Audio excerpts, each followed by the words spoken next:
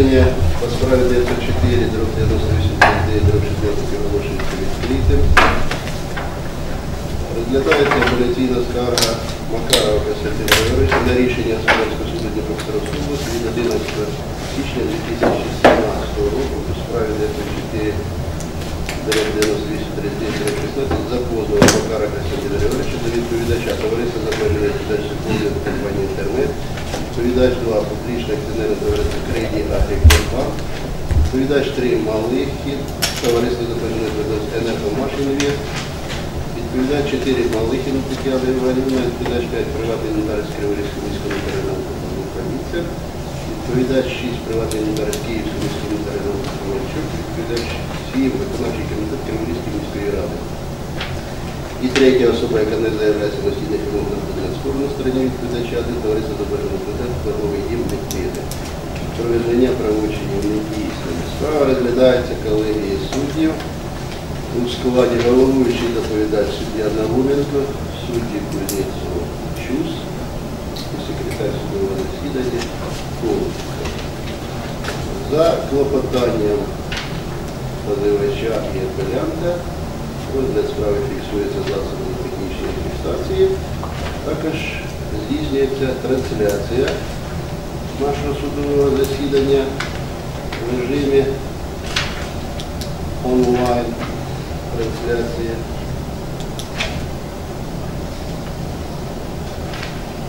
У нас з'явилися позивач з представником. Так? Макаров, ваша. Сідайте, будь ласка. З'явилися відповідач один є в нас інтернет. Да. Від заява в електронній пошті, якою вони просять розглянути справу без їх участі в зв'язку з хворобою представника. Відповідач два публічних товариства Кредія Агрикультура. Відповідач три товариства з обмеженою господарством енергомашин Є. І інших відповідачів немає, так? Ну, є дані про те, що вони повідомлені судом, отримали наші ухвали про час і місце е, розгляду даної справи. Суд, відповідно до вимог статті 20 і 22, роз'яснює учасникам процесу ваші права та обов'язки. Сторони мають право заявити відвід судді або суду складу суду, відповідно до вимог статті 20, якщо є цього підстава. Також сторони користуються рівними процесуальними правами, мають право заявити матеріали справи, робити з них витяги, знімати копії, брати участь у господарських засіданнях, подавати докази, брати участь у дослідженні доказів, заявляти клопотання, давати усні та письмові пояснення, наводити у думки ім'я до всіх питань, що виникають ході судового процесу, заперечувати проти клопотань і доводів інших оскаржувати судові рішення судового суду, встановлені цих кодексів порядку, а також користуватись іншими процесуальними правами, наданими цим кодексом. Сторони зобов'язані добросовісно користуватись належним їм процесуальним правом, виявляти взаємну повагу до прав і охорони законних інтересів вживати заходів всебічно, повну та об'єктивно дослідження всіх обставин справи. Питання до представників сторін, до позивача, відводи є, Немає честь. Немає. права обов'язки відомі. Так, ваша честь. Відомі. Заяви клопотання до, поря- до початку розгляду по суті апеляційної скарги є. Клопотання буде про витребування доказів, але ми хочемо його заявити після оголошення апеляційної скарги, ваша честь.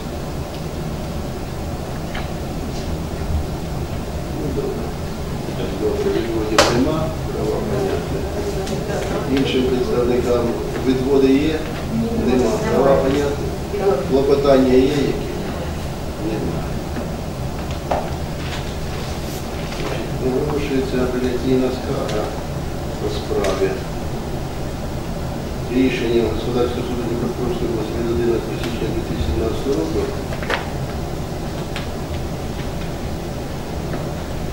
було відмовлено позивачів задоволення позовних вимог в повному обсязі. І частково припинено провадження по справі не погодився з сказаним рішенням суду. Позивач звернувся з апеляційною скаргою, вірніше його представник. Да, звернувся з апеляційною скаргою і вважає, що судом допущені порушення як матеріального права, так і процесуального права. Зв'язку з чим просить е, скасувати рішення судовського суду і ухвалити нове, яким задовольнити позовні вимоги надавача повного. Будь ласка, е, представник, представник позивача. Ви підтримуєте апеляційну скаргу? Так, ваша честь, повному обсязі. Ми слухаємо вас, слухаємо вас ваші доводи по апеляційній скаргі. Дякую, ваша честь. Вважаємо, що рішення господарського суду Дніпропетровської області від 11.01.2017 року по справі номер 904 рік 71 е, е, 98 дріб 39 дріб 16, е, яке було складено в повному обсязі 16.01.2017 року, було винесено таким, що е, винесено з порушенням норм матеріального та процесуального права. Е, Свої доводи в апеляційній скарзі ми наводимо. Якщо звернути увагу, це по-перше, на що ми звертаємо увагу суду стосовно строків позивної давності. Ми надаємо відповідні докази. Також звертаємо увагу на те, що на сьогоднішній день розглядається справа у господарському суді Дніпровської області судді Петрової стосовно витребування е, копій документів фінансової звітності, копій е, протоколів і так далі. Тобто є цей позов у нас. Це стосовно того, що Макаров дійсно дізнався лише у квітні 2016 року про порушення своїх права. Так, суд господарський, господарський суд Дніпровської області не, відмовив з підстав застосування строків позовної давності, але при цьому, ваша звертаємо увагу, що е, судом було зроблено акцент на це в самому судовому рішенні. Тому ми також е, даємо по цьому е, поводу певні роз'яснення. Також по другому, в своїх поясненнях від 22.12.2016 року та у додаткових письмових поясненнях від 10.01.2017 року позивач посилається на положення статей 8.9.41 Конституції України, статті 1 першого протоколу до Конвенції про захист прав людини і е, основоположних свобод, статті 17 Закону України про виконання рішень та застосування практики Європейського суду з прав людини та просив застосувати рішення ЄСПЛ у справах е, Бейлер проти Італії від е, 28.05.2002 року за номером 33-202-97, Принц Ганс Адам II де е, Ліхтенштейн проти Німеччини від 12.07.2001 року за номером 42-527-98 та СОВ Трансавто проти України від 25.02.2002 року за номером 48 553 99 як джерело права. Оскільки суд першої інстанції не спростував посилання позивача на рішення ЄСПЛ, то таке рішення не відповідає нормам Господарського процесуального кодексу України з урахуванням положень постанови Пленуму Вищого господарського суду України від 23.03.2012 року за номером 6 про судові рішення та Стаття, стаття 1 Конвенції про захист прав людини, основоположних свобод, а саме зобов'язання поважати права людини. Стаття 1 вказаної конвенції зазначає, високі договірні сторони гарантують кожному, хто перебуває під їхньою юрисдикцією, права і свободи, визначені в розділі 1 цієї конвенції. Також позивач у письмових поясненнях від 22.12.2012 року посилався на правові позиції, викладені у постанові Верховного суду України від 01.07.2015 року у справі номер 3 327 ГС 15 та у постанові Верховного суду від 21.01.2015 року у справі номер 3 207 ГС 14. В свою чергу, відповідно до положень частини 1 статті 111 зі значком 28 Господарського процесуального кодексу України висновок щодо застосування норм права, викладені у постанові Верховного суду України, має враховуватися іншими судами загальної юрисдикції при застосуванні таких норм. Суд має право відступити від правової позиції, викладеної у висновках Верховного суду України з з одночасним наведенням відповідних мотивів. При цьому суд першої інстанції взагалі ніяк не відреагував на вище вказані постанови Верховного суду України. Втретє, Позивач вважає, що суд першої інстанції неправильно застосував е, пункт 5 прикінцевих положень закону України про акціонерне товариство, оскільки жодна норма закону України про акціонерне товариство не вказує на той факт, що положення статей 71 та 72 закону України про акціонерне товариство не застосовуються у разі, якщо акціонерні товариства не привели статути та внутрішні положення у відповідність до закону України про акціонерні товариства. Замість цього пункт перший прикінцевих положень вказаного закону вказує чітко, що цей закон набирає чинності через 6 місяців з дня його опублікування, крім другого речення частини 2 статті 20, яке набирає чинності через 30 місяців з дня опублікування цього ж закону. Жодної іншої альтернативи, окрім другого речення частини 2 статті 20, не передбачено. Таким чином, позивач має право посилатись на положення статей 71 та 72 Закону України про акціонерні товариства при розгляді даного е, позову. А суд, в свою чергу, зобов'язаний прийняти до уваги та застосувати дані норми закону. Позивач також окремо звертає увагу та повертається до рішення єСПЛ у справі «Авто проти України від 25.07.2002 року за номером 48553-99, відповідно до якого обов'язок обов'язок ефективного здійснення захисту прав е, держави передбачає також позитивний обов'язок держави гарантувати ефективне та справедливе вирішення в національних судах будь-яких спорів між приватними особами, в тому числі спорів, пов'язаних із захистом інтересів акціонера, спрямованих на задоволення його легітимного прагнення щодо отримання правомірної вигоди від його корпоративних прав.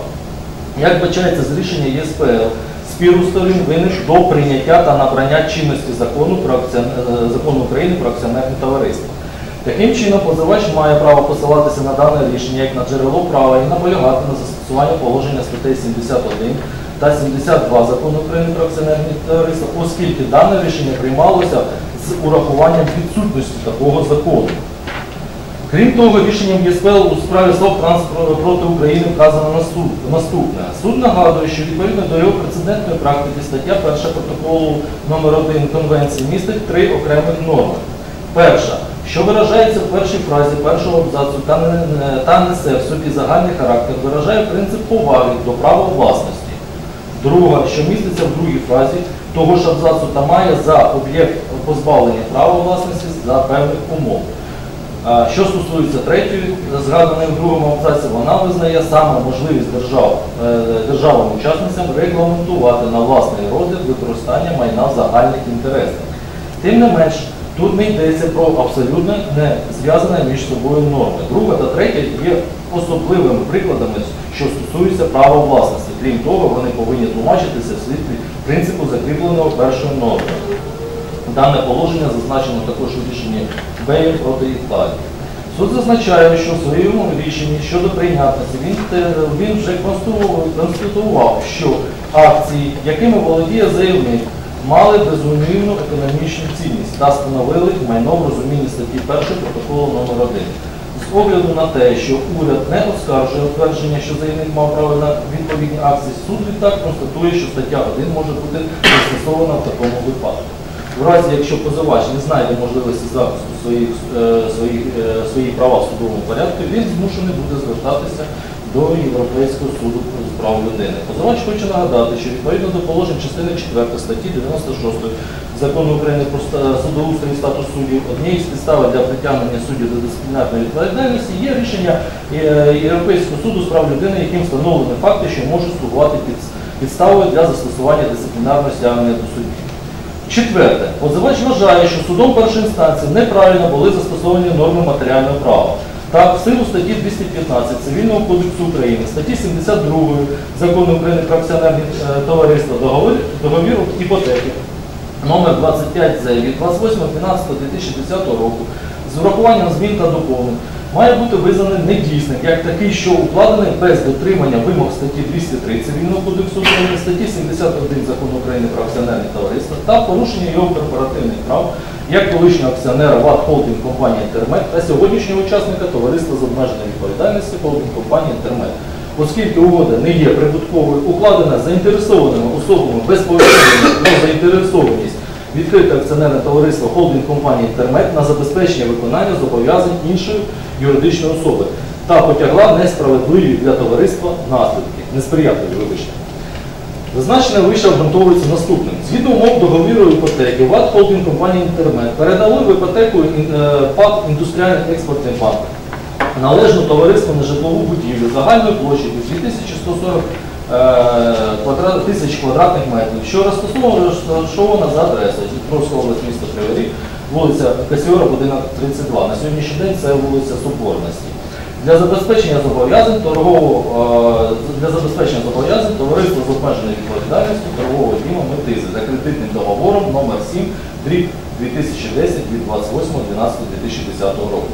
Згідно пунктами 7 частини 1 статті 1 закону України про іпотеку, особа, яка передає в іпотеку нерухоме майно для забезпечення виконання зобов'язання іншої особи боржника є майновим поручителем. Отже, відповідно до умов договору іпотеки, ВАТ Холдинг компанія Інтермет виступає майновим поручителем ТОВ торговий дім метизи за кредитним договором номер 7 дріб 2010 від 28.12.2010 року. Відповідно до частини 1 статті 11 закону України про іпотеку, майновий поручитель несе відповідальність перед іпотекодержателем за невиконання боржником основного зобов'язання, виключно в межах вартості предмета іпотеки.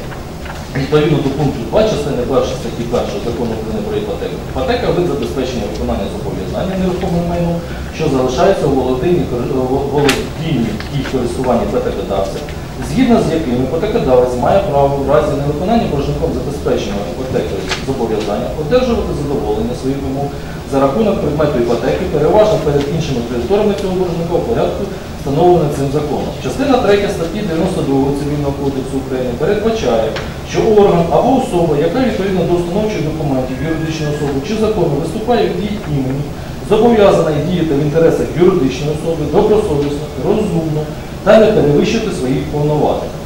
Укладення ВАТ холдинг компанії інтернет договору іпотеки для забезпечення виконання зобов'язання іншої особи боржника в будь-якому випадку не могло бути здійснено в інтересах товариства.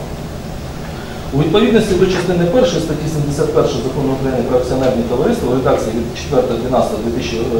4.12.2010 року особою заінтересованою у вчиненні акціонерного товариства правочину вважається посадова особа органів товариства та її афілійований, е, афілійована особа або особа, акціонер, який одноосібно або разом з афілійованими особами володіє 25 і більше відсотками простих акцій товариства, якщо зазначена особа або особи, разом або окремо відповідають принаймні одній із таких ознак. Є стороною такого правочину, бере участь у правочині як представник або е, посередник, отримує винагороду за вчинення такого правочину від товариства або від особи, яка є стороною е, правочину, внаслідок такого правочину придбає е, майно чи заінтересована в інших результатах виконання правочину.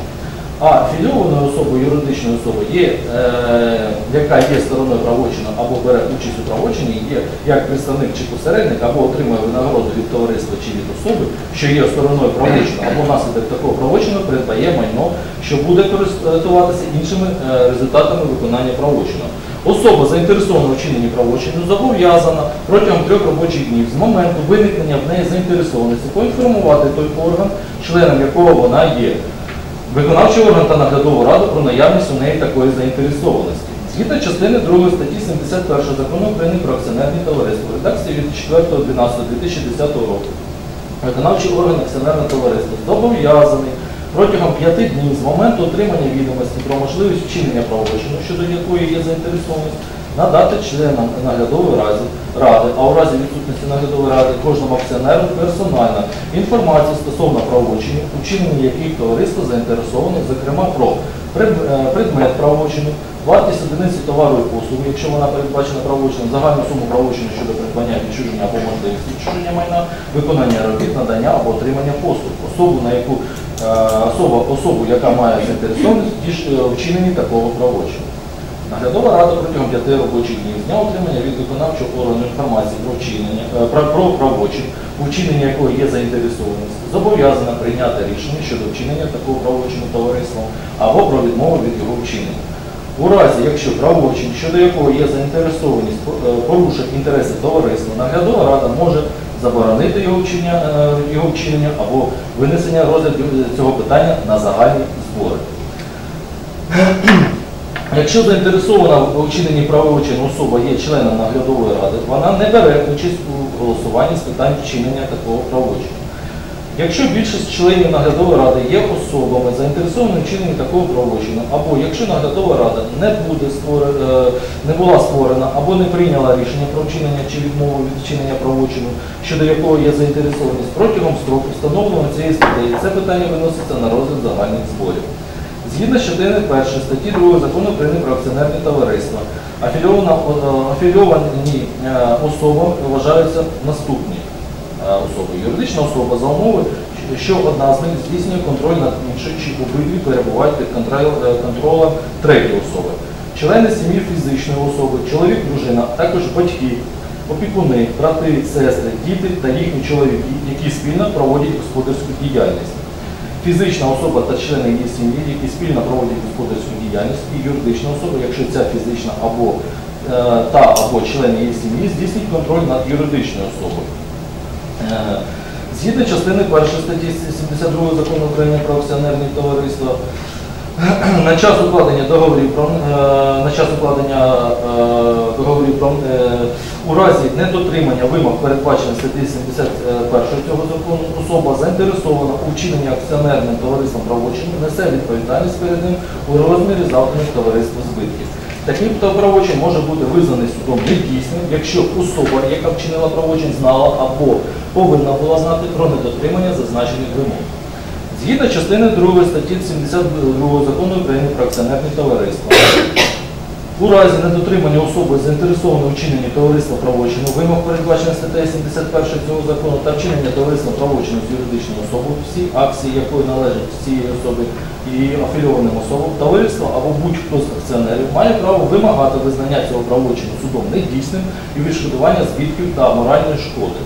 Згідно з частини 1 статті 215 Цивільного кодексу України, підставою е, недійсності правочину є недодержання в момент е, вчинення правочину стороною вимог, які встановлені частиною 1, 2, 3, 5 та 6 статті 203 Цивільного кодексу України.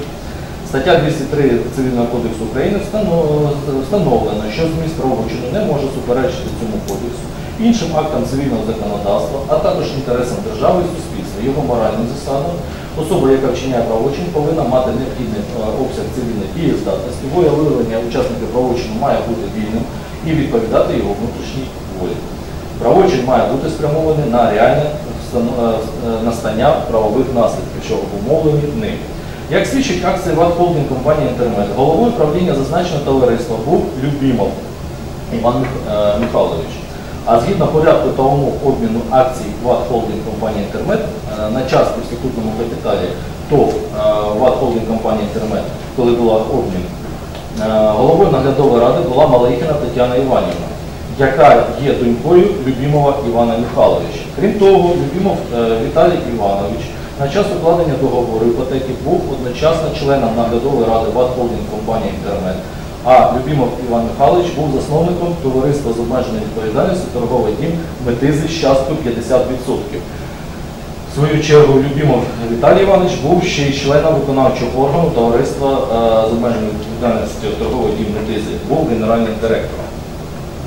Слід окремо звернути увагу, що Любімов е, Іван Михайлович є батьком Любімова Віталія Івановича і та Малихіна Тетяни Івановни. В свою чергу Малихін Андрій Олександрович, який директор е, Малихін Андрій Олександрович є чоловіком Малихіна Тетяни е, Іванівни, а е, сам Малихін з 5.03.2012 року є керівником ТОВ холдинг компанія Інтермет. Звертаємо вашу увагу, що останнім набувачем нерухомого майна за адресою місто Кривий вулиця Письора, 32 є Малихіна Тетяна Іванівна. Факт родинних відносин був вже встановлений рішенням Господарського суду Запорізької області від 19.07.2016 року у справі номер 908 602 16. Також цей факт сам не спростовує сам е, представник відповідача 1.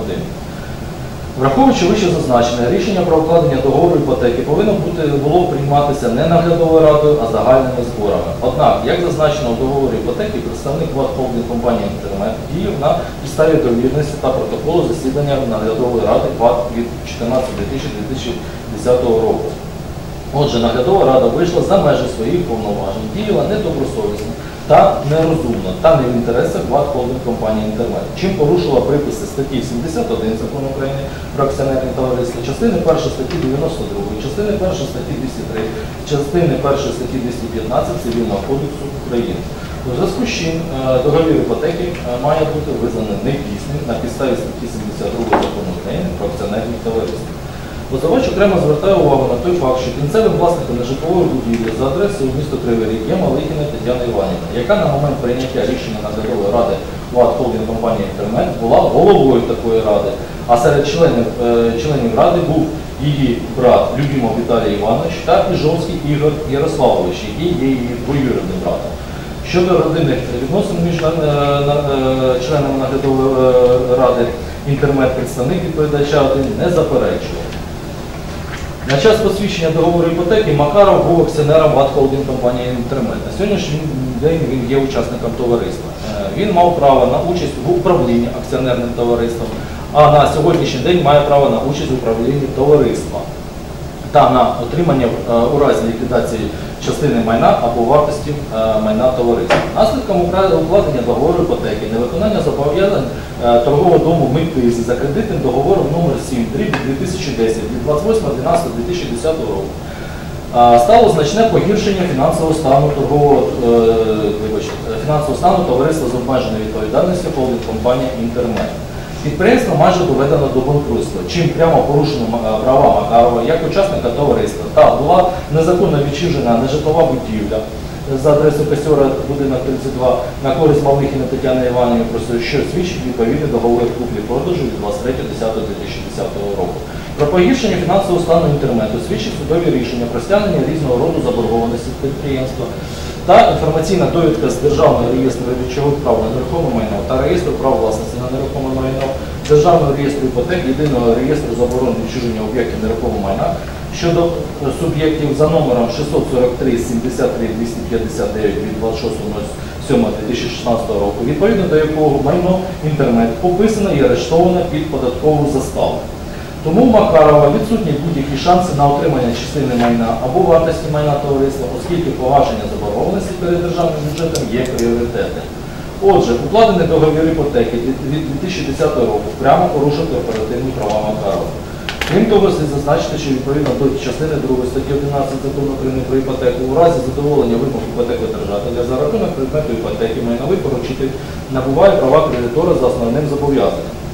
Однак жодних дій, направлених на стягнення з торгового дому метизи коштів на користь холдинг компанії Інтермет не було здійснено, що, також свідчить про заінтересованість укладення сумнівного правочину. Ваша честь, в матеріалах справи існує така е, таблиця, відповідно до якої е, нами було е, розписано чітко е, напрямки і послідовність дій наглядової ради і осіб, які вчиняли дані правочини. Як бачається, що е, е, наглядова рада складається з трьох осіб, а саме е, Малихіна Тетяна Іванівна, яка має при голосуванні 27,45%, Любімов Віталій Іванович, який має 27,50%, і Любімов Іван Михайлович при голосуванні, який має 37,45%. Е, Як і Іжовський е, 0,5%. Макаров Константин Григорович має при голосуванні 3,5%. е. Але оскільки наглядова рада, в якій складалися усі е, е, рівні між собою, які підпадають під поняття афільованими особами, вони вчинили завідомо неправомірні дії, направлені на незаконне відчуження вказаного майна, використавши для цього відповідний банк та ще одне товариство. Якщо ставити питання щодо добросовісного набувача, то хочу звернути, що Малихіна Тетяна Івановна є кінцевим набувачем вказаного майна. Її вважати добросовісним набувачем ніяким чином неможливо, оскільки Малихіна сама проголосувала, будучи головою наглядової ради, про заставлення вказаного майна і передачі його в іпотеку в банку в рахунок е, для забезпечення кредитного договору іншого підприємства, в якому здійснює контроль його її брат та її е, батько. І після чого, після чого е, вона стає власником. Е, Всі банк і інша юридична особа Енергомаш Інвест отримали свої кошти. Вони цього правочину не оскаржували. Банк отримав від Енергомаш Інвест, Енергомаш Інвест отримав від Малихіної. Малихіна є недобросовісним набувачем. Таким чином, ми вважаємо, що в разі скасування усіх правочинів і повернення вказаного майна до підприємства ніяким чином не порушує майнові права е, банку та Енергомаш Інвест. Це позиція позивача. Також, ваша честь, ми звертаємо увагу, що е, при застосуванні е, суд першої інстанції неправильно застосував норму процесуального права, припиняючи провадження у справі частині позовних вимог про визнання договору про відступлення права вимоги від 20.09.2013 року та е, про визнання недійсним договору куплі-продажу житлової будівлі від 2014 року про скасування відповідних е, рішень про державну реєстрацію прав та їх обтяжень та про скасування державної реєстрації права на нерухоме майно. Так, відповідно до положень частини 3 статті 215 Цивільного кодексу України, якщо не дійсність правочину прямо не встановлено законом, але одна із сторін або інша заінтересована особа заперечує його дійсності на підставах встановлених законом, такий правочин може бути визнаний судом недійсним.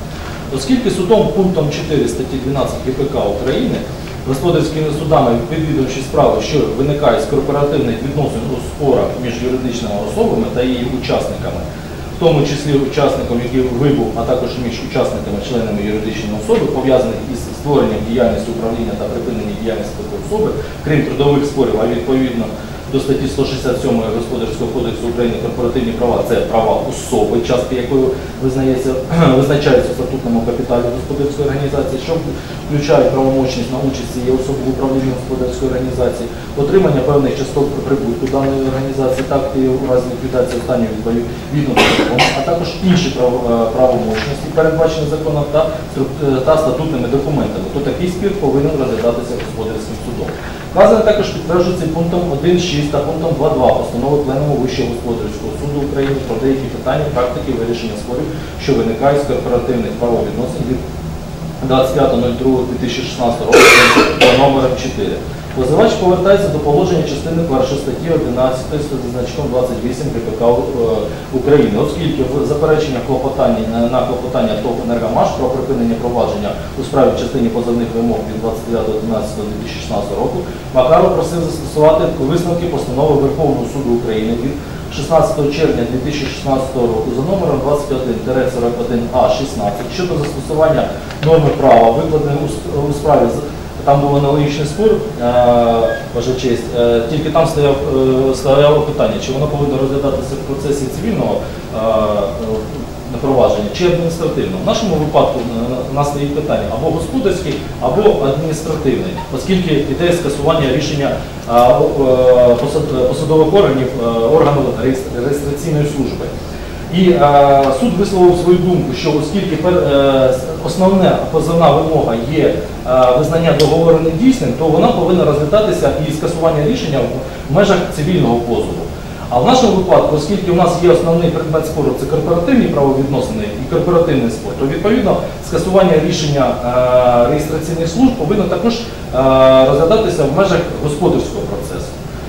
Тому ми посилаємося на цю норму. Ваша честь. Ну і е, в зв'язку з вищевикладеним, керуючись відповідними нормами, ми зазначаємо їх у апеляційній скарзі, ми просимо скасувати повністю рішення господарського суду від 11.01.2017 року за номером 904 е, дріб 9839 дріб 16 та опалити нове, яким задовольнити позовні вимоги позивача.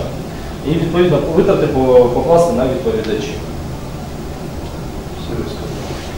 Макарова є Да, я коротенько не буду повторяться. Э, Я хочу сказать, что сделка эта была направлена на получение прибыли некоторыми участниками товариства, то есть семьей Любимовых, который является учредителем торгового дома Метиза. Сделка для холдинг-компании Термет была бесприбыльная. Первое, суд не дал этому оценку, что сделка была бесприбыльная и не могла быть прибыльной. Она рискованная для предприятия. Но суд этому оценку не, не дал. Второе, оно было направлено на получение прибыли торговым домом Метиза и семьей Любимовых. Я в судебном заседании утверждал, что деньги пошли от кредита э, на торговом доме Метиза на строительство домов, в том числе личных домов в Крыму. И акцентировал это внимание судьи. Но суд отказался этого доследить, куда пошли деньги от кредита. Даже это не захотел делать. Хотя присутствовал представник банка. И он мог сказать, туда пошли они или не туда. То есть деньги пошли не на получение прибыли интермета, а на получение дохода семьей любимого торгового метиза, который не связан никакими договорными отношениями. Второе. Мог ли э, от устава холдинг компании Интермет, товариство, и мог ли э, э, товариство давать поручительство третьим особам? Вот пункт устава 3.4. Товариство мает право. Он не имеет права давать. Я его перечитал внимательно До пункта 3.16 он не имеет права, тут не указано, давать поручительство по э, обязательно третьих э, особ или третьей стороны. Нету этого в уставе. Суд не доследил это. Дальше. Э, суд ссылається, от здесь читаю е, рішення суду, доводи позивача, що погіршення фінансового стану підприємства виникло внаслідок укладення договору іпотеки є безпідставними, це суд утверждає, оскільки право власності до товариства «Енергомаш Інвест» на предмет іпотеки перейшло 18 серпня 2014 року. Тут пропускають далі абзац. Тобто з грудня 2010 року по серпень 2014 року спірне іпотечне майно перебувало в користуванні іпотекодавця, який використовував майно у господарській діяльності, що не заперечується відповідачем 1 та не спростовано позивачем. А далі я подал иск в 2016 году, утверждаю, что после передачи утверждал и приводил цифры, сколько были доход предпри- предприемства в 2010 году и сколько был доход предприемства в 2014-2015 году. Суд спросил Костафию представника, она сказала, это ложь. Все, он не доследил, чего проще было доследить, сколько был доход предприемства в 2010 году из звита и э, 2014 и 2015, из которого было видно, то, что я утверждал, что в разы упала доходность. Это и понятно. Здание давало доход на, на 50% всему предприятию. Здание э, ну, стоимостью, балансовой стоимостью 7 миллионов с чем-то гривен, это в ценах, когда доллар был 8, можно представить, сколько оно приносило дохода. Но суд почему-то не захотел этого делать. То есть достаточно было слова Костафьева сказать, это неправда, и все. Хотя можно было затребовать, как я говорю, документы, подтверждающие, что до- доход упал в несколько раз, почти в 10 раз. Я приводил эти цифры. Суд это не доследил. Дальше. Суд утверждає в рішенні суда заявник, заявляючи про сплив позовної давності, от про сплив позовної давності. Товариство з обмеженою відповідальністю, холдинг компанії Термет, публічне акціонерне товариство Кредит Агриколь Банк, товариство з обмеженою відповідальністю Енергомаш Інвест, представники здесь присутствують, Посилається на те, що Макаров КГ достоменно було відомо про укладені договори іпотеки 28.12.2010 року, оскільки е, ВАД холдинг компанії Термет було припинено шляхом реорганізації перетворення у товариство з обмеженою відповідальністю у січні 2011 року. На загальних зборах акціонерів 08.06.2011 року був присутній Макаров. Я це не заперечую, я присутній був. Последний раз, это я подчеркну, последний раз на зборах. Больше меня ни разу не приглашали. На зборах розглядалося питання про затвердження звіту комісії з припинення товариства, про затвердження передавального акту. Тобто розглядалося питання, які стосуються майна товариства. Этот акт там есть. Я просил сказать, где, в какой графе написано, что я могу про это знать. И прошу сейчас установить, то есть это э, доказ той стороны, где написано, что этот договор там фигурирует, где-то, в какой графе. Вот они здесь присутствуют, я наполягаю на том, что его там нет, суд это не доследил. Просто они сказали, там есть, и все. Этого достаточно было для суда. Что, хотя документ есть, и можно сейчас доследить, что там нигде, ни, ни в какой графе не сказано об этом договоре, договоре ипотеки, который мы оскарживаем. Дальше. Суд погоджується з доводом відповідача про те, що позивач повинен був знати про укладення договору іпотеки від 28.12.2010 року, оскільки як акціонер відкритого акціонерного товариства холдинг компанії Термет мав право та можливість ознайомитися з рішенням наглядової ради загальних зборів акціонерного товариства. Крім того, крім того, на загальних зборах акціонерів розглядалось питання про затвердження звіту комісії з припинення товариства. Это я говорил, там нету этого пункта. Затверджение было, но этого пункта нет. Суд почему-то не доследил это. А поверил на слово, что там оно должно быть. На- На цих зборах, як підтверджується матеріалом справи, був присутній позивач. Був, но в суде, я предъявил судье Естафьева доказы того, что с 2016, э, 2011 года, и они у меня здесь, я могу предъявить суду для д- д- э, дослідження, что я обращался неоднократно, здесь есть опис, все законно сделано, о том, чтобы мне предоставить вытяги, надати належним чином заведення копії звітів, як устав, гаран- и как э, пункт 12.5 гарантирует мне это право. И на то, что они ссылаются, что якобы мог, имел право. Право имел, но я доказал, что они мне отказали в этом праве. Я нигде не ознакомился, и я суду эти доказы. И могу сейчас предъявить оригинал о том, что мне ни разу, нигде не было отвечено, и нигде не было, суд не доследил это, что я не получил этих доказов, э, не исследовал никогда. И с 2011 года я ни разу не был на собрании. Я а на этом особо акцентировал. Есть и другие, так сказать, в апелляции находятся, о том, что э, судебные иски, где я доказываю, что ни разу меня, после того, как общество было реализовано, товариство, э, с- товариство с ограниченной ответственностью, ни разу на собрание не приглашали, ни разу не ознакомили меня с этим материалом. У меня есть даже видеодоказы, которые в суде другой, правда, предъявляю, о том, что мне отказывают в этом ознакомлении бухгалтер, Малыхин на работу не ходит и так далее. Я могу это предъявить суду, и суд мой до- до- доследит то, что это оригинал, и ни одного ответа нет. Это я в суде доказывал, но почему-то суд пишет, что я мог это знать из э, отчетов, которые я не получал, и которые я в суде показал, что я не мог их получать. Потому что судья, э, извините, прошу прощения, представник відповідача Костафьева не предъявила ни одного доказа, и этого нет в материалах справы о том, что я ознакомился или мог право ознакомиться.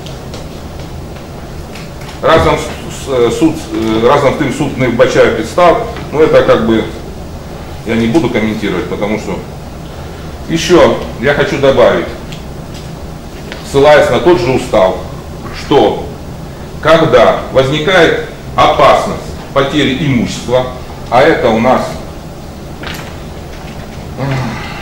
пункт.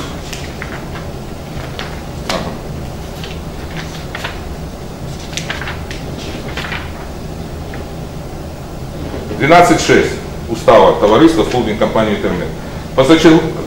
Общество должно, правление, посадовые особы должны провести, у меня еще есть, я могу еще дать, целая папка. Э, а? Позачергові збори, збори учасників скликаються виконавчим органом, тобто головою товариства у випадках, передбачених даним статутом рішення загальних зборів учасників у разі неплатоспроможних м- м- можливості товариства, а також у будь-якому іншому випадку, якщо цього потребує інтереси товариства, в цілому, зокрема, якщо виникає загроза значного скорочення статутного капіталу. Здесь була угроза поте- не- неплатежеспособности и потери имущества. Должны были общества, то есть э, посадовые особые общества должны были, голова сборя, в частности, и голова правления, должны были собрать собрание. Они этого не сделали. Именно собрание должно было решить о том, что это тоже сказано в уставе, каким образом гасить будут сбытки. То есть в уставе написано из резервного фонда. Был резервный фонд или не было, суд этого не доследил. Давайте ближче. до Это предмету. по- Це вже взагалі даєте характеристику діяльності товариства. Що ви такого? Я просто, это касается этого, э, потому что суд не доследил того, что какое было принято решение. Было ли оно вообще принято платить по счетам, отдать здание. И, то есть я считаю, что суд не доследил пункт 4.2 устава, 4.3, 7.1 уже, покрытие, пункт 8.3, как покрываются сбытки. Он не доложил о сбытках нигде, а обяз- обязан по пункт 8.3. Пункт дви- а, 11.2, пункт 12.6, пункт 13.7 устава. И а, э, еще один момент. Суд утверждает, э, что мне не нанесены, кроме э,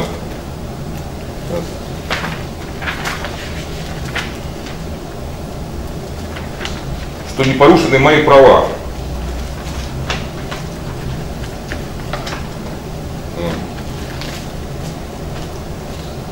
Так, потому что-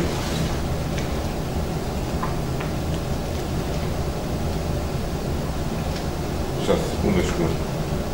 А разом з тим суд не вбачає підстав застосовувати позовну давність до спірних відносин, оскільки укладення спірного іпотечного договору не привело до порушення корпоративних прав позивача. Как-то не привело. Я читаю пункт устава э, «Мои права». Права и обязанности участников товариства. Брать участь в управлении товариством.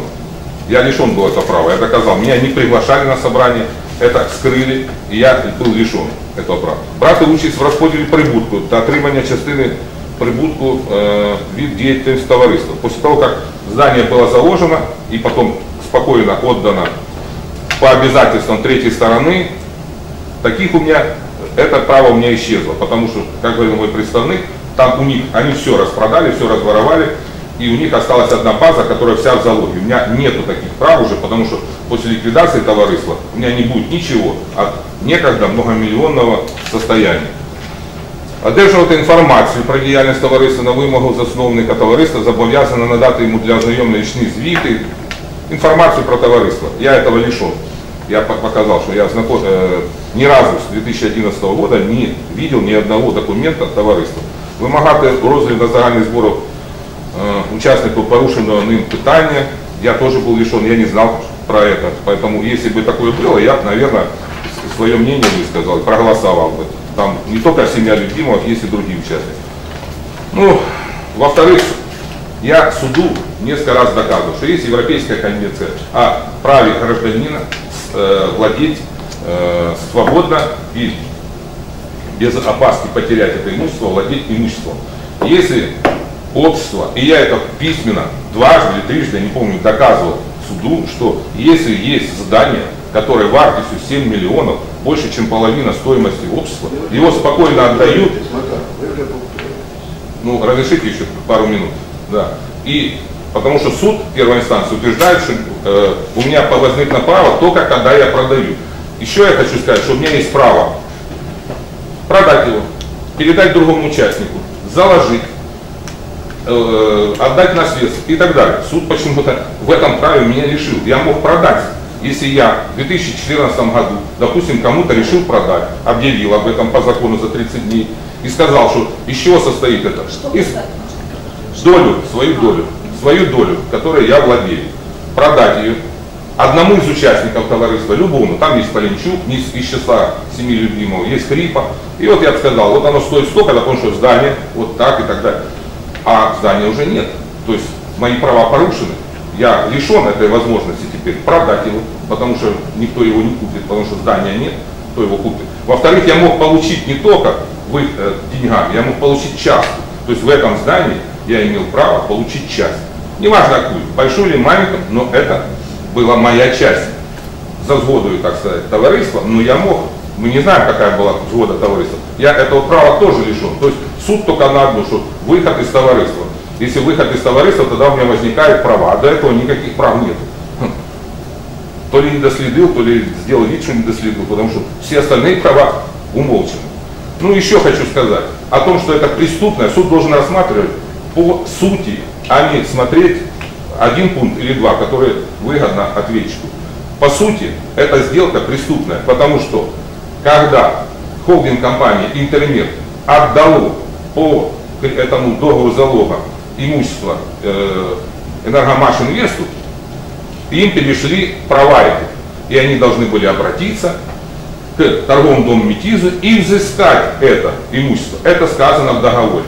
Он этого не сделал. Это говорит о том, что эта э, сделка была направлена на получение прибыли, прежде всего, семью любимых. Они выводили имущество, как это часто принято в Украине, а суд этого почему-то не доследует. Почему они не подали? Я задавал этот вопрос.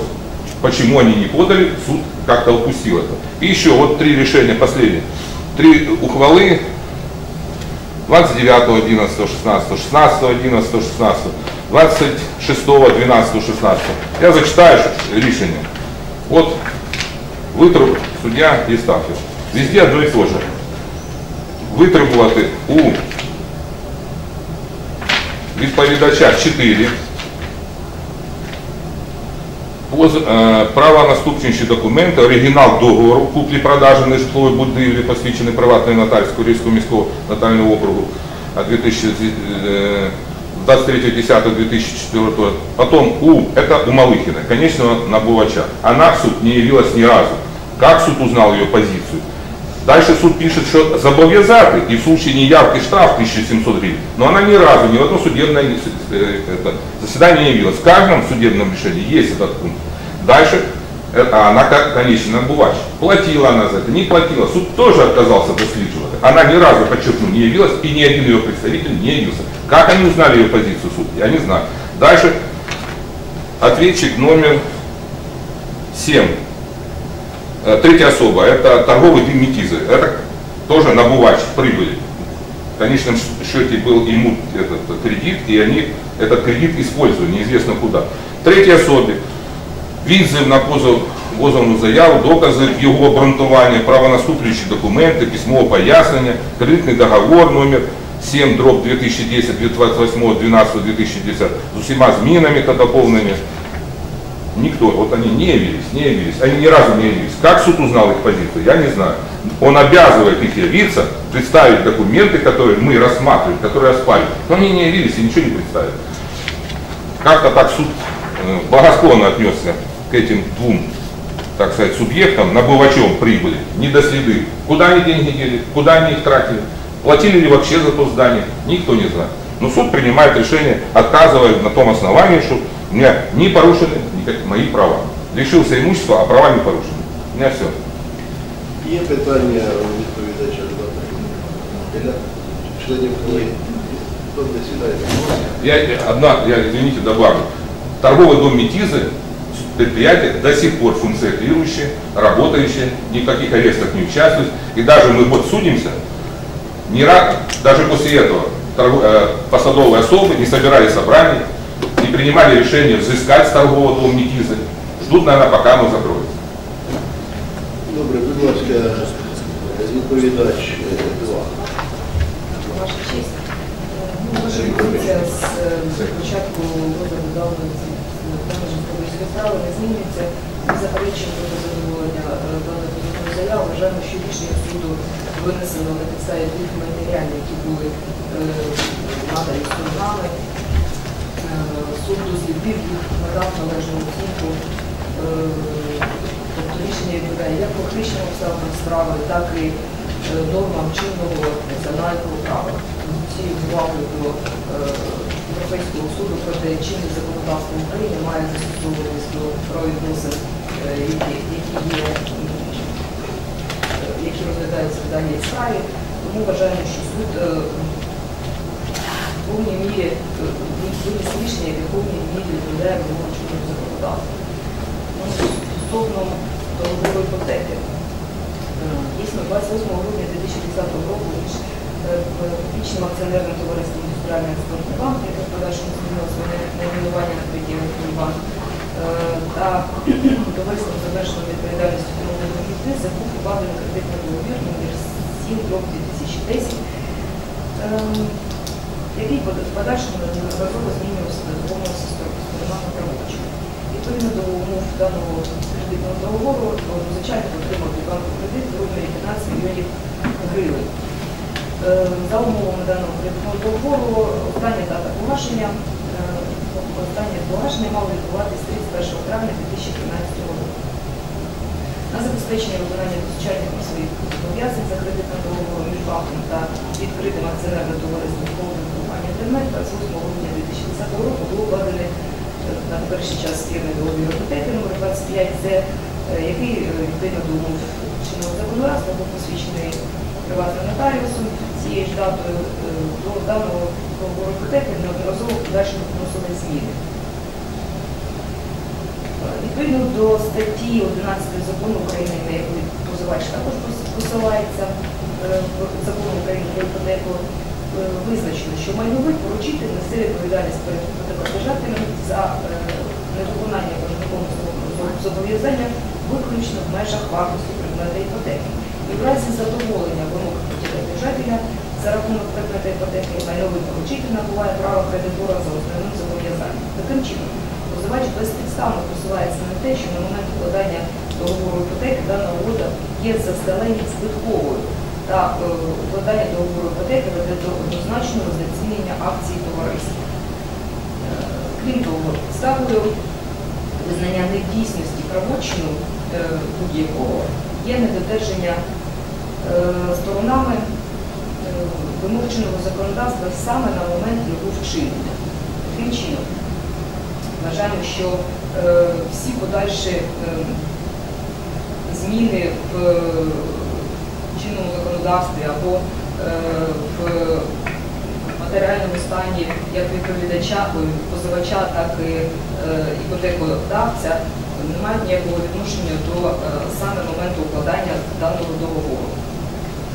Ми також підтримуємо позицію суду з того, що закон про акціонерні товариства е, саме для акціонерних товариств, які були створені до набрання чинності даним законом, е, розповсюджувався на, на ці е, на раніше створені товариства лише після того, як акціонерне товариство проводили свої статутні документи у відповідність до вимог нового закону.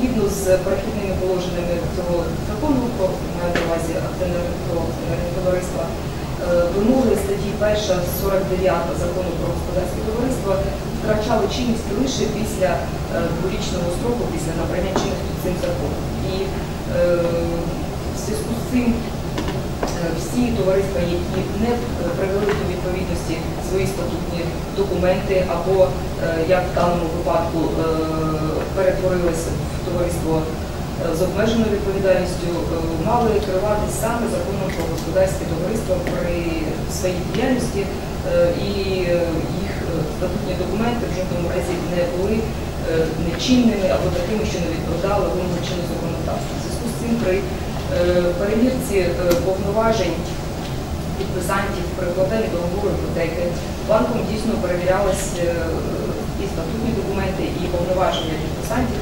І е, банк прийшов, як і нотаріус, який посвідчував е, договір іпотеки, до, е, до висновку, що е,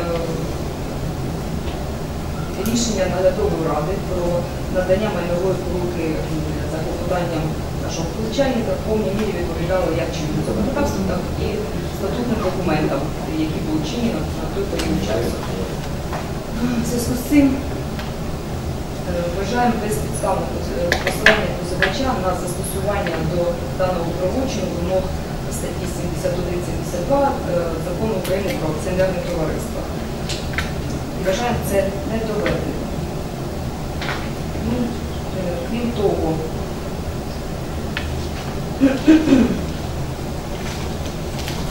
Е, Суд при винесенні рішення перевіряв повноваження як наглядової ради, так і підписанта договору іпотеки і прийшов до висновку, що е, порушень при е, призначенні статуту наглядової ради е, ніяких не було і це не оспорювалось позивачем.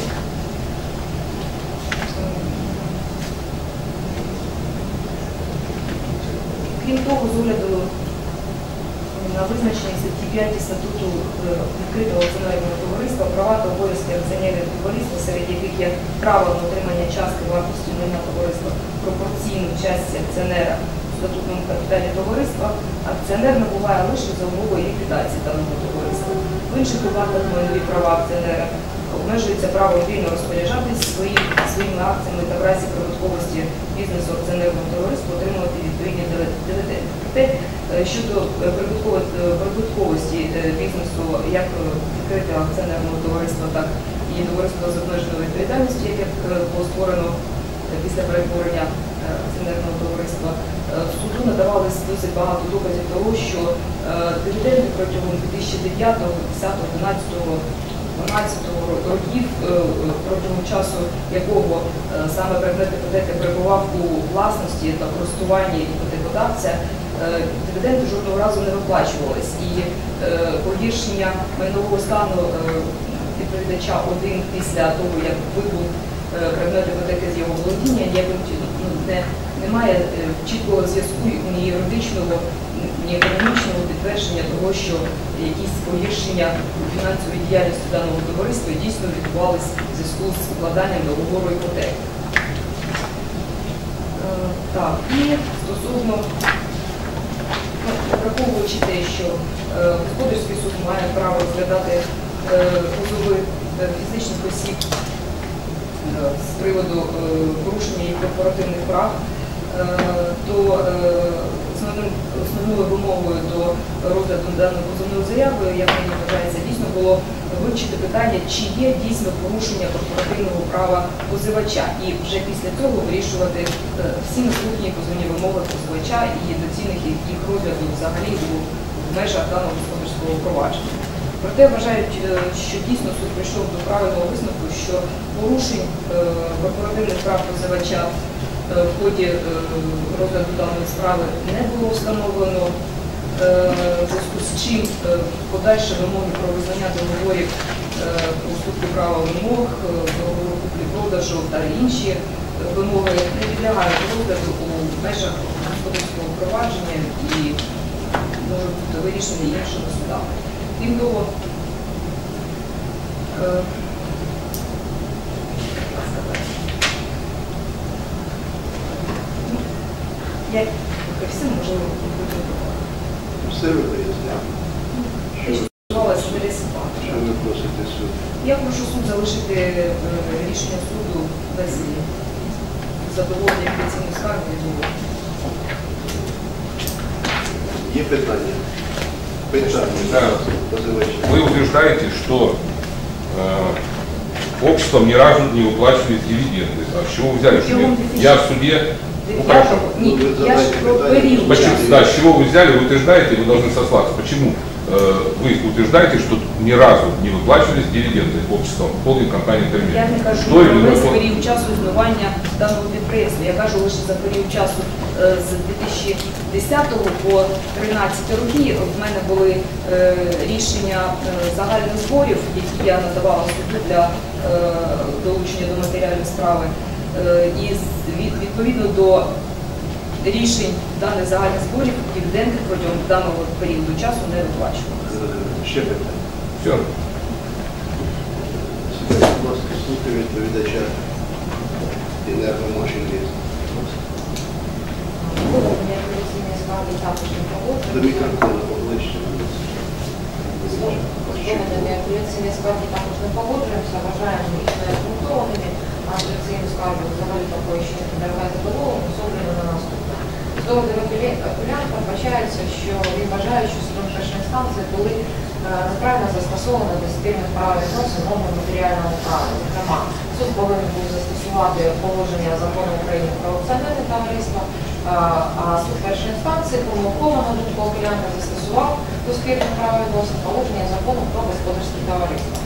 Даному випадку ми вважаємо, що місцевий господарський суд цілком правомірно застосував норми матеріального права до е, під час вирішення питання щодо визнання недійсним укладеного між е, відповідачами договору іпотеки, оскільки е, на момент укладання в 2010 году, е, ро- році статутні документи товариства з обмеженою відповідальністю е, Холдинг не були приведені у відповідність е, до закону про акціонерне товариство. Е, Прикінцеве положення цього закону передбачає, що він набуває чинність через два його втрачає чинності положення закону України про господарські товариства лише через два роки. До цього часу господарські товариства до приведення у відповідність нормами цього закону е, своєї діяльності мало користуватися саме законом України про господарські товариства. Оскаржуваний правочин договору іпотеки жодним чином не протирічив положенням закону України про господарські товариства. Будь-яких обмежень компетенцій щодо укладання заінтересованих правочинів і правочин, яких буде зацікавленість, не було встановлено ані законом України про господарські товариства, ані внутрішніми е, документами господарського товариства, зокрема статутом. Місцевий господарський суд, суд е, дослідив всі ці обставини та, на нашу думку, дав їм належну правову оцінку. Тобто е, оскаржуваний правочин був укладений відповідно до положень статуту, відповідно до положень закону України про господарські товариства. Підстав для визнання його недійсним передбачених статтею 215 закону Цивільного кодексу України не існувало. Такі, крім того, вважаємо, що суд першої інстанції цілком дослідив ті обставини, що, що корпоративні права позивача, які передбачені статтею 116 Цивільного кодексу та е, статутом товариства, жодним чином не було порушено. Позивач е, не довів належними та допустимими доказами порушення його права на управління товариства внаслідок укладання оскарженого договору іпотеки, його право на отримання дивідендів внаслідок укладання оскарженого правочину, його право на отримання інформації. Тобто жодне із корпоративних прав, які е, надані йому законом, е, внаслідок укладання спільного правочину порушені не були. Тому, якщо розглядати в совокупності, за відсутності порушень е, оскаржуваним правочином норм матеріального права та відсутність порушених прав позивача в сукупності давали суду е, підстави для відхилення позивних вимог цієї частини. Що стосується доводів позивача про порушення місцевим господарським судовим норм процесуального права, зокрема безпідставного припинення провадження в частині решти позовних вимог, ми вважаємо цей висновок е, суду першої інстанції також цілком законом обґрунтованим, оскільки е, позивач обґрунтовував порушення порушення норм права саме е, нормативно-правових актів, якими регулювалися вчинення вказаних правочинів. Але жодним але звернувся на захист своїх прав, е, саме корпоративних прав, оскільки ані договор купівлі-продажу, ані договор е, про задовільнення вимог е, кредит е, іпотекодержателя, які оскаржував позивач, він товариство, в якому він є учасником або був акціонером, не було стороною цих правочинів, взагалі немає. підстав стверджувати, що його саме корпоративні права були порушені внаслідок укладання цих правочинів. Е, Якщо він вважає, що він як заінтересована особа вважає, що були порушені будь-які інші його права як фізична особа, він право, має право звернутися в рамках цивільного судочинства за захистом своїх прав та оспорити ці правочини. Але це не є подвійним господарського суду, який має право розглядати спори за участю фізичних осіб лише якщо ці спори виникли внаслідок е, приводу корпоративних правовідносин. В даному випадку це не є корпоративними правовідносинами, суд це встановив, тому вважаємо, що в цій частині, частини припинення провадження в решті позовних умов є також цілком законним і обґрунтованим. Е, Таким чином вважаємо, що суд першої інстанції всебічно, повно та об'єктивно е, з'ясував обставини справи, правильно застосував норму матеріального права і спільних правовідносин, тому вважаємо, що рішення- є цілком законним обґрунтованим, а підстав для його скасування відсутні. Тому просимо суд апеляційну скаргу залишити без задоволення, а рішення суду першої інстанції залишити без змін. Є питання, позивача, Ні. будь ласка. Таня, Питання? нет, А, нема питань? Членів это комісії нема? дополнение. Є доповнення? Да. Будь ласка, слухаємо вас. Дмитро Кулик. Вот Первое.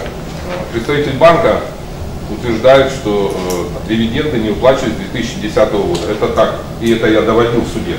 После того, как залог отдали, дивиденды перестали платить. До этого дивиденды платили. И я это утверждал, что я их получал. И представник банка действительно это подтверждает, что именно этот договор при- привел к погибшему.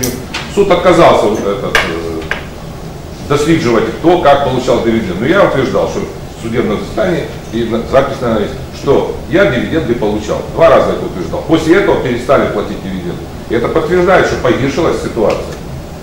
Это первое. Второе.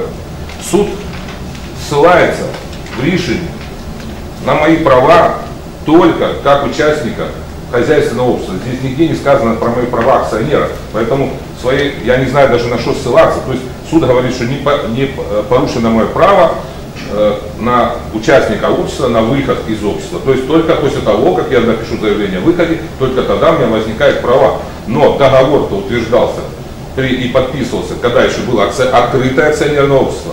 И у меня права были акционера на тот момент. Суд вообще этого не доследил. То есть получается, что права мои как участника хозяйственного общества, он хоть как доследил. То есть один, то есть пункт о выходе моем.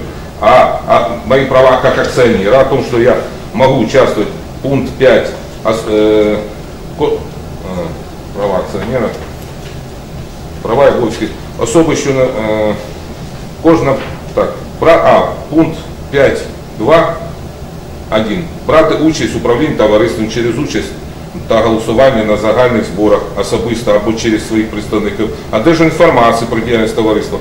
Я не одерживал, я не участвовал в собрании. Да. И просто я говорю, что суд только доследил мои э, обязанности или права как участника товариства с ограниченной ответственностью. А права акционера слова не сказано. То есть он не доследил это, а я владел на тот момент акциями, я м- не, без согласования с кем-то, здесь написано, а де- да, виходу з товариства шляхом відчуження належних йому акцій, а акціонер має право вільно розпоряджатися наданим йому акціями, товариство, зокрема, продавати чи іншим чи- чином відчуждати та їх на, на, на, їх, на користь інших юридичних та фізичних особ без попереднього інформування та отримання на, е, на це дозвіл інших акціонерів або товариства. Суд вообще не доследил устав и мои права как акционера. Там слова нигде не сказано о моих правах. А у меня было право, я надеюсь, что есть здание, я кому-то продаю. Это я говорю, вот здание, вот я акционер этого здания, ну, холдинг компании Интермет, в котором есть вот здание. Это маленькое акционерное общество, не огромное, а оказывается оно заложено, то есть это уже обман, то есть я уже как бы, мои права нарушены. Суд вообще не доследил это. Он ссылается только на мои права как, товарищ- как участника товариства, а права акционера он вообще не доследил. А договор был именно в тот период. И еще я хочу сказать, что э, суд не доследил, а почему общество в установленный законом срок не перешло в, то есть э, согласно закону о хозяйственных обществах, то, что требовалось. То есть был установлен срок до 2011 года, до марта 2011 года. Этот срок общество не перешло. То есть суд должен был, то есть уважительной причины нет, суд не доследил. Ссылается та сторона, ответчики, на то, что есть рекомендации, рекомендации, не закон, а рекомендации. А э, то, что почему общество не перешло на новую форму и э, требования закона не выполнены, не написано. Дальше. Общество, товариство, э, открытое э, э, э, ОАО, холдинг компании «Интермет», то есть открытое акционерное общество, выражаясь российской мовой, существовало и даже после ки- прикинцевых положений, до августа 2011 года, то есть уже кончился предконцевый положение, а договор действовал, они должны были этот договор привести тогда уже в этот период в соответствие. Но они этого не сделали. То есть они существовали даже после предконцевых положений, но договор не перевели в соответствие, а договор в этот момент действовал. Все, э, так, ваше честь, тут репліка. Э, хочу звернути вашу увагу, що відповідно до рішення господарського суду, яке ми розкажемо, суд посилається на роз'яснення Державної комісії з цінних паперів від 14 7-2009 року е, за номером 8, яке дає тлумачення прикінцевих положень. Це посилається також один із відповідачів. Ми хочемо звернути вашу увагу, що вказаний орган не є Конституційним судом України і брати на себе повноваження тлумачення е, якісь положень е, нормативно-правових актів, вони взагалі не мають права.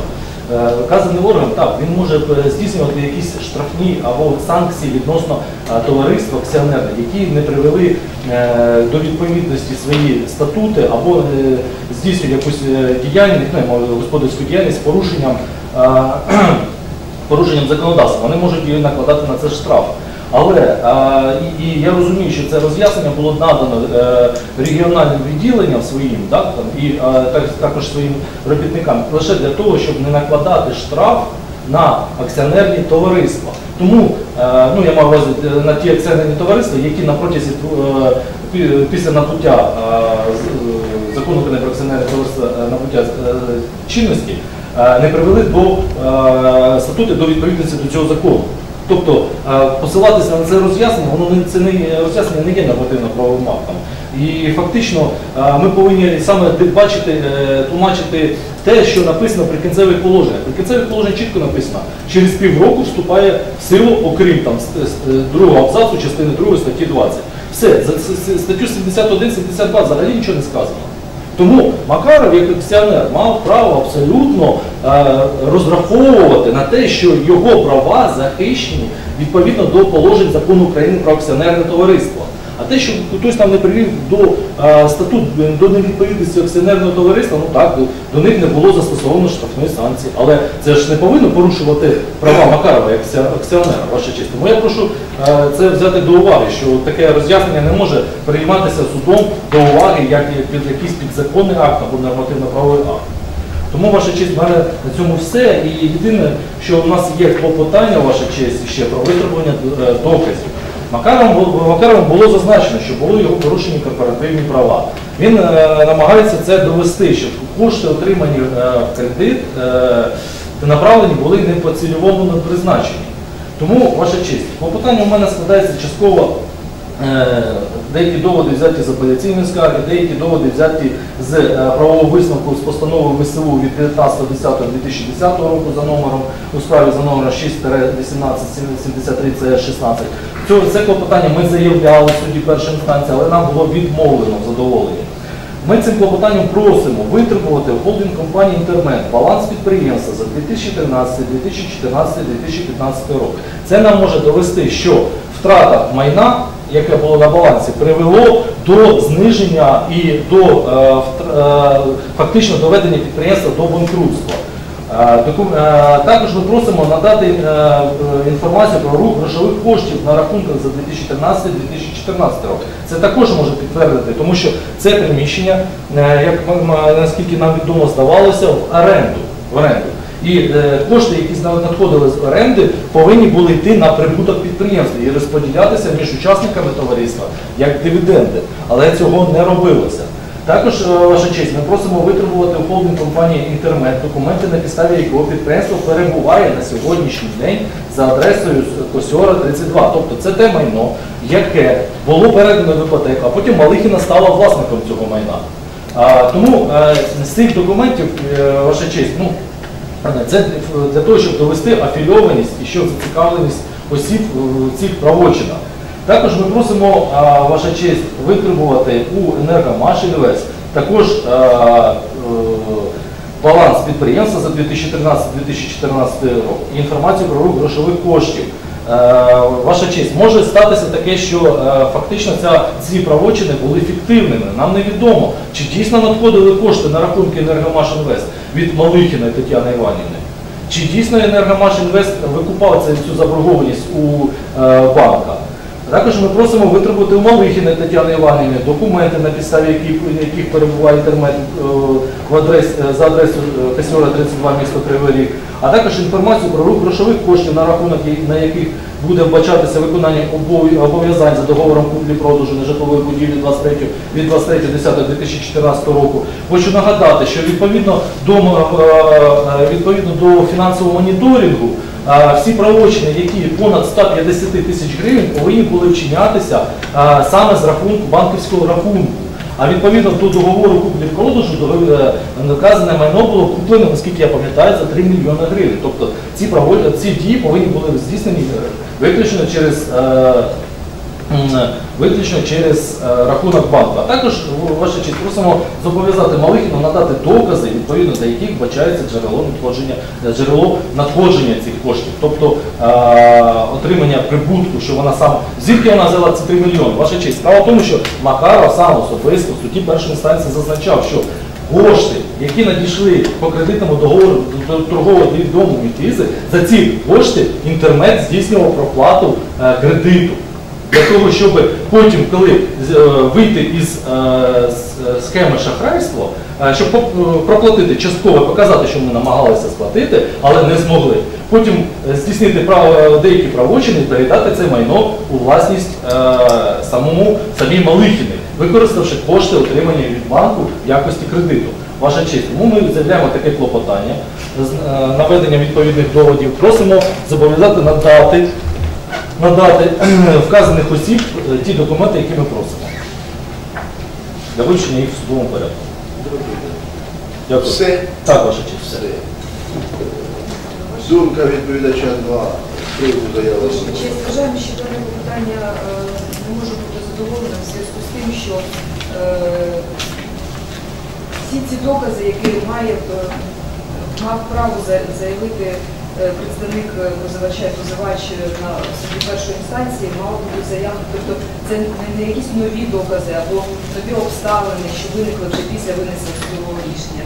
Всі ці е, питання були обговорені в суді першої інстанції. Е, Спершу, е, якщо суд відмовив е, подібного клопотання е, е, під час розгляду е, суду першої інстанції, то лише з того е, з тої причини, що це було передчасно заявлено. Проте ніхто не е, заперечував проти того, щоб дане клопотання вже було заявлено після того, як матеріали справи були вивчені, виникли, можливо, якісь питання додаткові у позивача або його представника. Це по-перше. По-друге, е, як е, при запереченнях і на теперішній час ми вважаємо, що основним питанням в даній- справі є порушення корпоративного права, а також яке саме законодавство мало бути застосовано до е, е,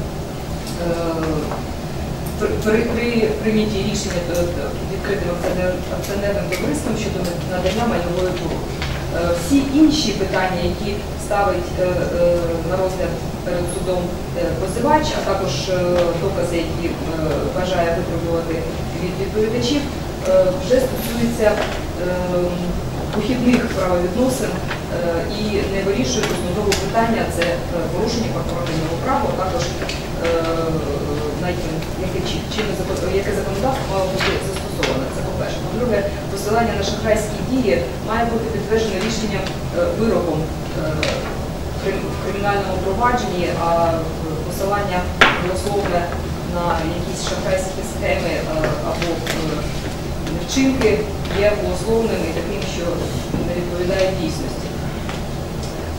Е, Щодо ди- дивідендів, е, е, балансів підприємства е, за відповідача один за 2010-2015 роки.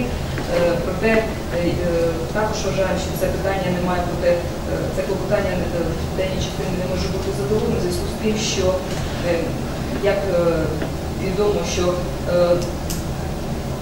Предмет іпотеки вибув з власності е, товариства з обмеженою відповідальністю вже в 2014 році, Е, а момент укладання договору іпотеки е, це 2000 грудень 2010 року. Тому ми вважаємо, що також немає ніякого відношення до вирішення по суті даного позову.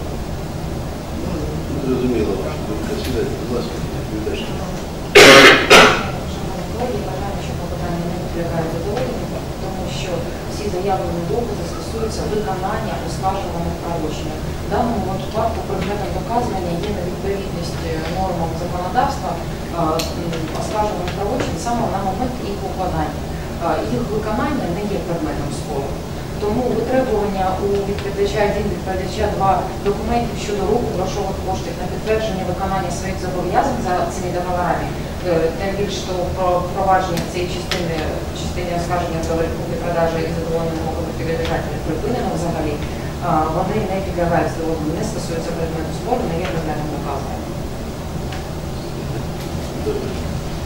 Значить, е, суд виділяється до нарадчої кімнати для заявленого клопотання і вирішення питання по можливості закінчення розгляду по даної справи.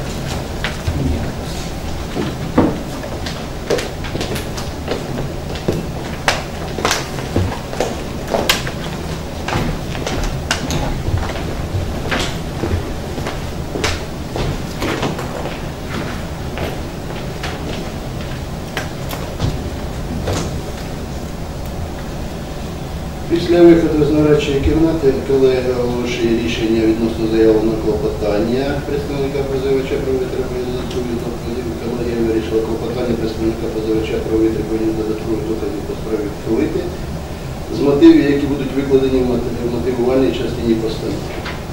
І оголошується вступна резолютивна частина постанови іменем України 8 червня 2017 року. Петровський апеляційний господарський суд складі колегії суддів, головуючий суддя Новинка доповідач, суддів Чус, Кузнєцова, секретаря судового засідання Козикова, з участю представників сторін присутніх в судовому засіданні, розглянути судовому засіданні апеляційну скаргу Макарова Костянтина Григоровича на рішення Судовського суду Дніпропетровського від 11.01.2017 року у справі 904 98 39 16 за позовом Макарова Костянтина Григоровича до відповідача 1 товариства з обмеженою відповідальністю холдинг компанії інтернет місто Кривий Ріг.